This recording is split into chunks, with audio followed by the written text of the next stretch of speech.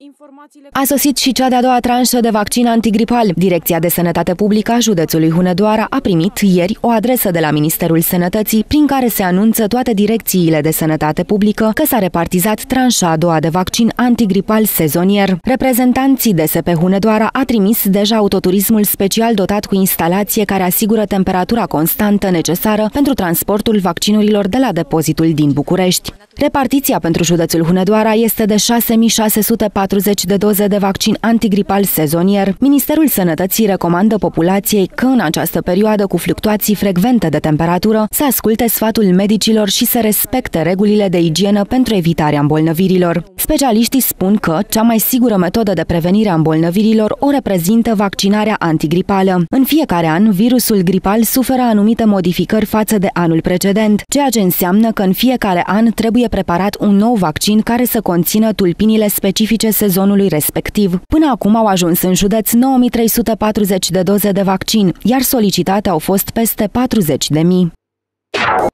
Suplimente alimentare și cereale expirate, dar și o serie de produse cosmetice și medicamente cu deficiențe. Astea au identificat reprezentanții Comisariatului Județean pentru Protecția Consumatorului Hunedoara în unele magazine din județ. Pentru neregulile constatate, organele de control au aplicat 5 amenzi contravenționale în valoare de aproximativ 20.000 de lei și au oprit de la comercializare produse în valoare de peste 1.900 de lei. Comisarii au desfășurat o serie de controle tematice în farmacii și unități care comercializează suplimente alimentare, cosmetice sau produse cu destinație nutrițională. Verificările au vizat modul de respectare a prevederilor legate de domeniul protecției consumatorilor în ceea ce privește păstrarea, depozitarea, comercializarea, etichetarea și prezentarea produselor. Amenziile și avertismentele nu au fost singurele sancțiuni aplicate de către comisari. Pe perioada controalelor, aceștia au mai identificat o serie de produse cu data durabilității minimale depășită, motiv pentru care le-a oprit definitiv de la comercializare.